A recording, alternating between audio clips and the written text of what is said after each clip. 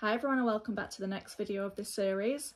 Today's video is about the throat chakra and this is the chakra that's associated with speaking your truth, speaking up for yourself from a place of love and it's also associated with listening and receiving information. So people with a blocked throat chakra tend to either be very quiet and keep themselves small or they're very outspoken and they really want to be seen, but from this forceful way because they feel like they've never been seen or heard. So they either keep themselves small because it's comfortable or they want to bring attention onto themselves for validation because they can't validate themselves. And as always, no judgment. All of my chakras held these wounds, so I've been there, done that. So there's never any judgment. But sometimes if people have this chakra blocked, they can't actually take information in because it has to be about them. They can't actively listen.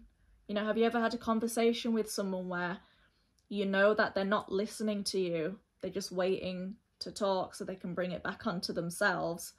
You know, they just want to speak and bring the focus back onto themselves because they don't feel seen and heard. So they use any opportunity as a way to be seen and heard, to be validated. So, our soul has travelled through many lifetimes, and this next bit, just take it if it resonates, and if it doesn't, don't worry because everyone's journey is unique to them. But our soul has travelled through many, many, many lifetimes. So we pick up energetically where we left off. And remember, this is energetic. This isn't about words and actions because that's always rooted in the 3D. But your soul picks up energetically where it's left off. And for a lot of people who've got a blocked throat chakra, they will have lived a past life where their voice or speaking their truth equaled danger or in an extreme measure equaled their death. So again, take that if it resonates, leave it if it doesn't. I'm not going down this hippy dippy, yankee wanky doodle shy of, you know, new age, let's clear all these past lives and all of this shit. I'm not going down that road. I'm just talking about where we hold these energetic blocks, and it can be from past lifetimes, especially when it comes to the throat chakra. That's just what I've seen and experienced myself. So, like I said, take it if it resonates, leave it if it doesn't.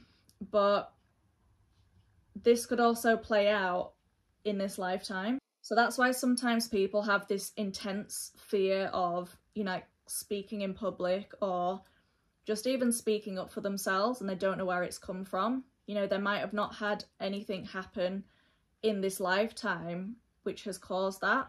They might have had a really happy childhood or, you know, nothing necessarily happened that would cause that block. So those are the people that I'm talking to. It can come from different lifetimes because remember your soul travels through time and space. It's not linear. So if you held something in a past lifetime, you can hold it in this lifetime too. So that's just for people who have a really badly blocked throat chakra, because that was definitely the case for me. But also look at this lifetime because it could have happened in childhood. You could have shut down your throat chakra in your childhood because it could also have played out in a way that speaking up for myself equals something bad will happen to me and you know it's not it doesn't have to be something extreme but it might have been unsafe for you to speak up or speak your truth as a child. But also look at this lifetime you know look at your childhood. Was it safe for you to speak up or speak your truth or just even speak up for yourself? You know did speaking up for yourself mean something bad would happen? Was it safe for you to speak your truth? Because if it wasn't it causes you to operate from this fight or flight and again, this chakra is also related to the father wound. And fight or flight is a symptom of the father wound.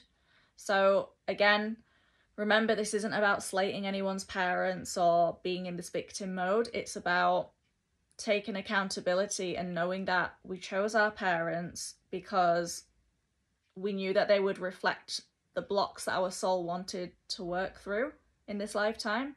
So everything was planned by your soul. This isn't about slating your mum, slating your dad, and, you know, feeling like something happened to you that you can't overcome. This is just about knowing that the father wound and the mother wound is just a cluster of energetic shit that we need to work through and it manifests in different ways through the mum and the dad. So as I said, fight or flight is a symptom of the father wound. And remember, we absorb our core denied shadow self from our parents. So we essentially absorb our fear-based energy from our parents, which then plays out on the twin flame journey, which is why I keep mentioning the mother wound and the father wound. Again, I know I've said it a few times in this series, but if you want a video on the mother wound and father wound, please let me know because I'm more than happy to do that. Okay, so people with a blocked throat chakra, they often need stimulation. They need sound, they need music playing, they need they need the TV on or people talking. Some people need the TV on because their dogs have weird anxiety, so don't start attacking me. I know the TV is on in most of my videos and it really offends people because, you know, having your TV on is just, let's face it, it's the crime of the century. But I was guilty of this, you know, needing stimulation because I didn't want to feel the discomfort internally. You know, noise is a distraction.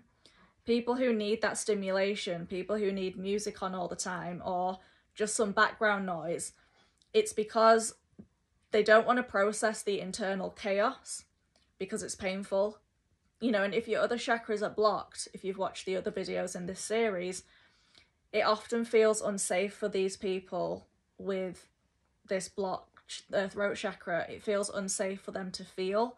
So they don't want to listen to the internal chaos. They don't want to listen to the noise that they carry within their own internal world. So, you know, look at if you need stimulation. Look at if you, how does it feel if there was no noise around you?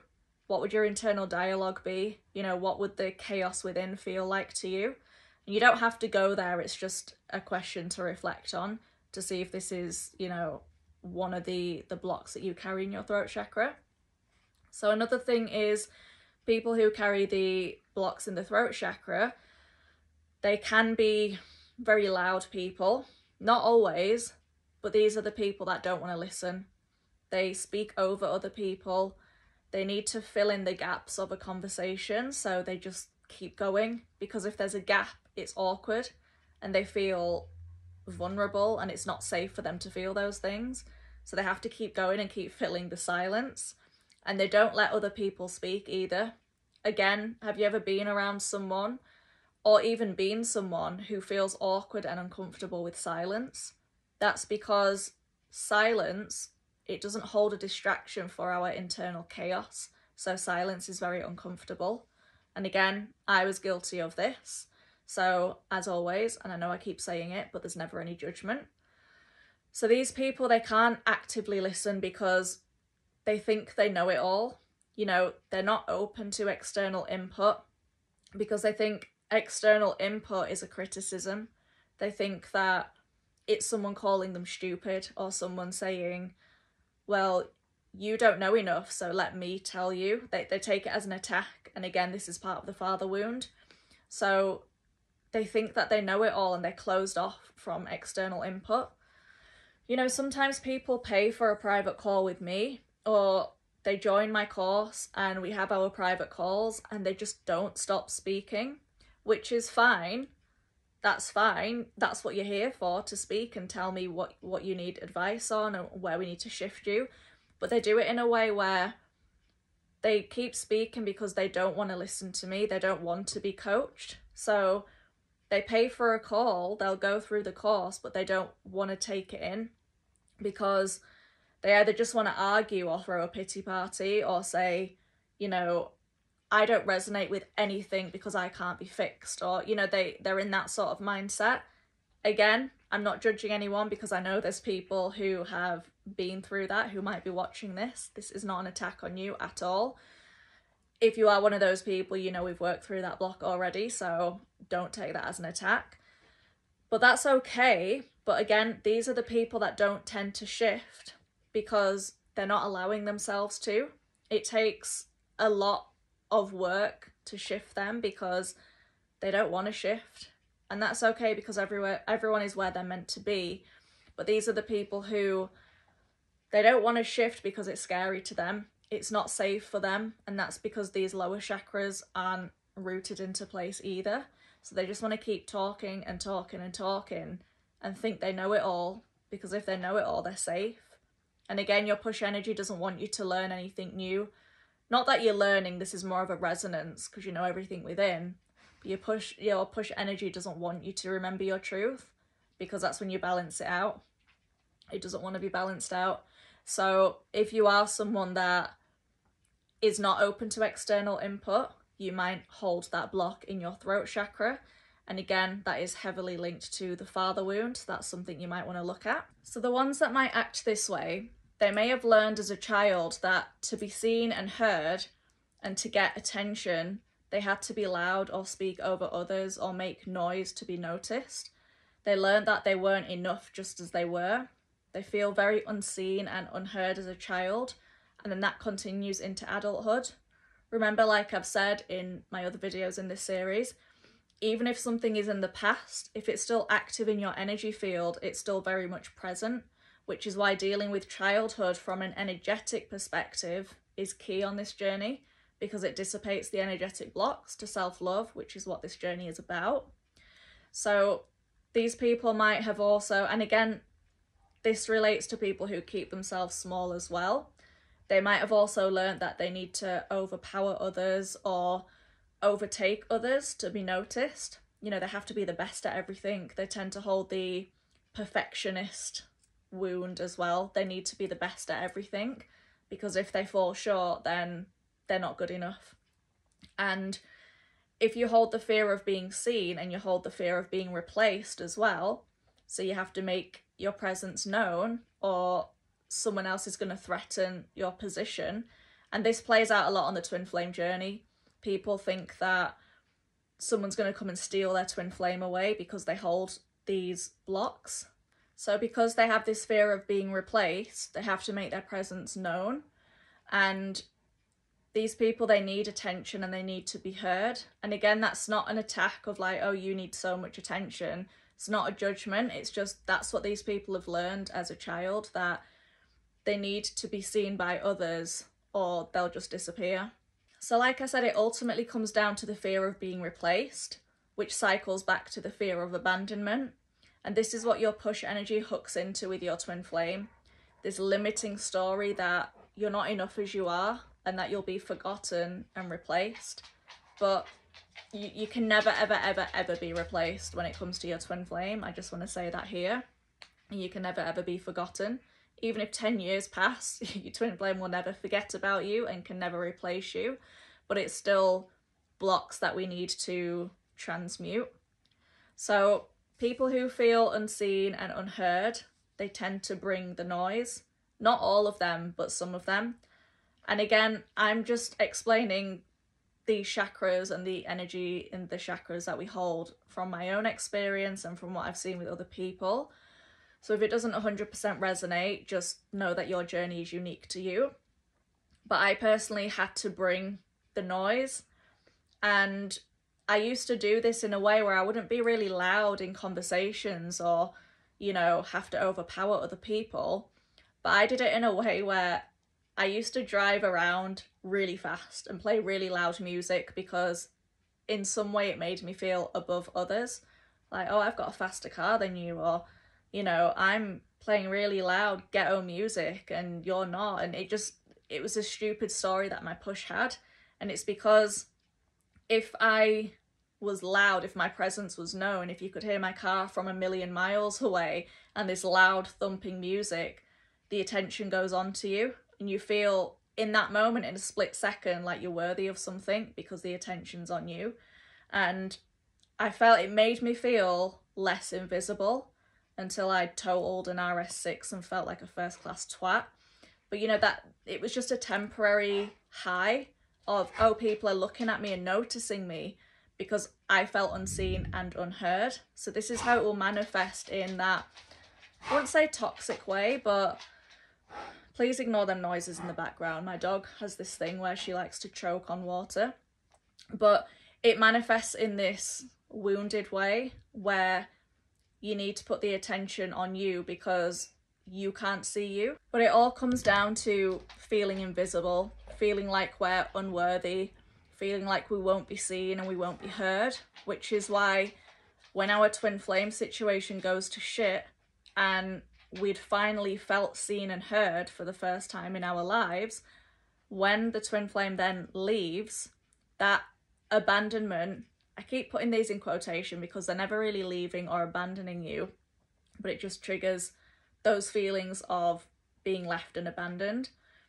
But that abandonment feeling is then heightened because we felt invisible in some way throughout our whole lives. And then our twin flame comes along and everything is just intensified. And because they are our soul, it just feels more painful. So it's because we've always felt invisible. It's not like this is the first time it's happened to us and then all that shit, all the times we felt invisible, it just intensifies and it all erupts, you know, the joy of the twin flame journey. So look at where you felt invisible, look at where you felt unseen and unheard in your life, and, you know, look back to your childhood. Where did you first feel these things? And remember, this does tie into the father wound, so look at your relationship with your dad and times that you felt unseen and unheard and where it was unsafe to speak your truth. So that's, you know, a good place to start, to start shifting these things. And I also want you to look back on times where you might have overcompensated to be accepted or validated. You know, did you learn that as a child? What was the feeling underneath that? You know, did you have to go the extra mile? Did you have to go above and beyond to get acceptance? Did you learn that to get love, I have to be perfect? And look at the feeling underneath that. Was it rejection? Was it abandonment? Was it the fear of being replaced? And this can tie in a lot to being overshadowed by a sibling, but of course it's unique to everybody. And once you've started to look at those areas, you can then see how your twin flame reflects this energy back to you when they're being a Yankee wanky sack of shit. You know, when they're rejecting you, ignoring you, abandoning you, when they're just not seeing you. Sometimes when our push is built up so high, it feels like we become invisible to our twin flame because we hold these blocks in the throat chakra. We don't see ourselves. We feel like we're just shrinking and eventually we're going to disappear. You know, that's how I felt anyway, but maybe I was just really dramatic. So just look at how you might have overcompensated or how you might have tried to gain acceptance and validation in your childhood and obviously pinpoint what was underneath that because we want to get right to the root on this journey. You know, we want to look at if it was rejection, abandonment, want to get right to the root, not just the behaviors. Because once we transmute the root, the behaviors start to change. So, how else can we open up the throat chakra? You can create an environment to feel loved and safe and meet your own needs. You know, this doesn't have to be some extreme spiritual thing of crystals and sage everywhere and you can do that, you know, whatever floats your boat, do what's right for you, but it's about taking small steps in the right direction. You know, like I would just start to be in the moment and feel that love and safety in my own home with my dogs, cooking for myself. I know I pay my own bills and I know that I'm relying on me in that moment. It was taking those tiny baby steps to show yourself and to, you know, undo all these stories that I can see myself in this moment and I'm doing a good job. I can start to validate myself in this moment. And like I said, it's just the tiny little things. We want to take the twin flame journey day to day. It doesn't have to be some massive thing like, oh, I, you know, did something that has changed the world and you know, I'm on this mission now and I'm ascending so high that I'm affecting so many people. It doesn't have to be something like that. There's again this misconception that to be to feel worthy and validated on the twin flame journey, you have to do some weird fucking earthly mission that's going to help millions of people. No, you can start to validate yourself in your day-to-day life. Like, oh, I got out of bed when I felt felt suicidal. Validating myself, tick you know, it's taking the tiny little steps day to day to start seeing that you are worthy and that seeing yourself and accepting yourself and as I've said, validating yourself. And doing that, it starts to move this stuck energy of feeling unworthy and feeling invisible. And when we can start to do it for ourselves, no one can take that away from us. We start removing the need from needing it externally, other people telling us how great we are, other people telling us how worthy we are. We start to validate ourselves. And when we get there within, that's when everything shifts because we're really trusting ourselves instead of our external circumstances. Also, take note as well that the throat chakra relates to your solar plexus chakra. So, if you haven't watched that video, feel free to. But it connects to seeing yourself. You know, do you know who you truly are as a soul? And this is the shift that you have to make to balance your energy anyway and bring your twin flame back in. So, you may as well get a head start on that. But, you know, all the chakras are interlinked, everything is connected. So, the throat chakra also connects to the heart chakra. If your heart is open or closed, it will relate to how your throat chakra is. If your heart is closed off, then your throat chakra tends to be closed as well. But as you open the heart, the throat chakra tends to open up as well. You know, I made another video about the heart chakra, but people who have a closed heart are often the ones who get really angry and shout to protect themselves. You know, they use their throat chakra to protect their heart. So they have to attack others and shout and be loud and come across as really aggressive because it keeps them from feeling unsafe. And those with an open heart, they can be silent and they can be vulnerable because they do feel safe. They know that nothing and no one can threaten them, you know, emotionally or physically because they know who they are. That's where we need to get you to. And that's the space that you need to be for your twin flame to come back in anyway. This isn't about, you know, constantly blaming them and feeling sorry for yourself. And again, I know this journey is hard. I'm not saying, oh, just get over it, but we have to shift the perspective on this. So if you do need help doing that, my course is still on sale until the 5th of November. Um, my childhood energetic course as well, there's that with the mother wound and father wound work if you want help on that. I hope this has resonated, I hope this has helped, and I'll see you in the next video of this series, which is the third eye chakra.